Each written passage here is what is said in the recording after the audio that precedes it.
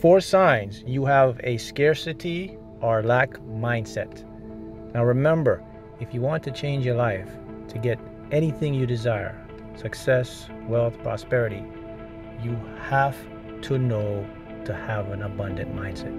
So if you have any one of these following signs, change it so that you can start attracting the life of your desire because it's your subconscious mind that is sabotaging you. Here we go. Sign number one you believe money is the root of all evil. Incorrect. Poverty is the root of all evil. Lack of money is the root of all evil. Money is tool, it's energy. You have to change that mindset because what happens, your subconscious is illogical. It sees what you perceive and it brings you more of it. Therefore, more lack and scarcity. Use the opposite. See money now as an abundant tool to get you what you want. Sign number two you see circumstances as fixed, not changeable. In other words, you see your world as this physical, fixed thing. You see situations as hard to change. It's not going to happen. It's going to take a long time. I can't do that. I don't see any way. You see limit and limitation. That is also a lack mindset. Because here's the fact you are infinite, your mind is limitless. Opportunities can be right in front of your face, but if you can't see it, you're not going to receive it. Your mind must open the filter to abundant. How do you fix that one? Start having an open mind. Start seeing things as changeable. It can happen. That's number two. Number three, you use thoughts and words of scarcity or lack.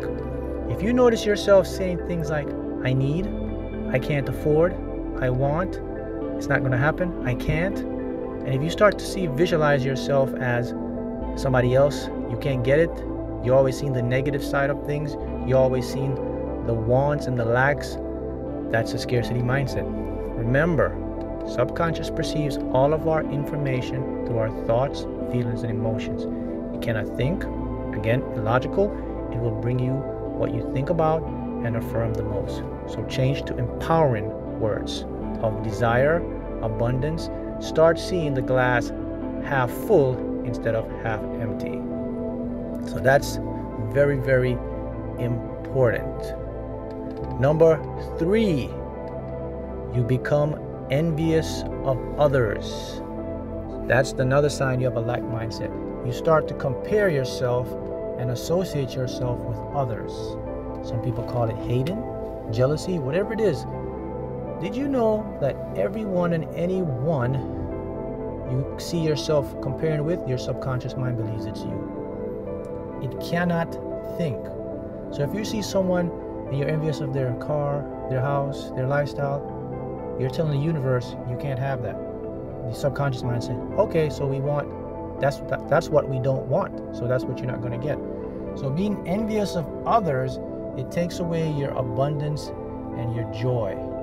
It actually makes things more difficult for you to achieve. Got that? All right. Number 4, not being generous, not being grateful. Give your time, energy, it doesn't have to be money.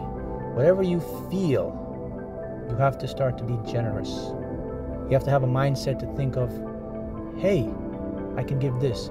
So if you're in a mindset of, I can't give it, I don't have enough, it's not working, I can't see it, that's what you're going to attract. Remember that. As with scarcity beliefs, you can overcome this. You have to make a conscious decision to give more of ourselves, not less.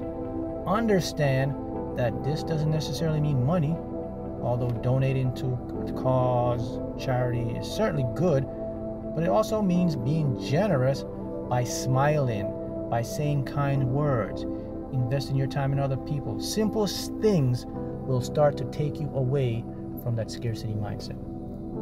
There you have it. Those are the four signs that you may have a scarcity mindset.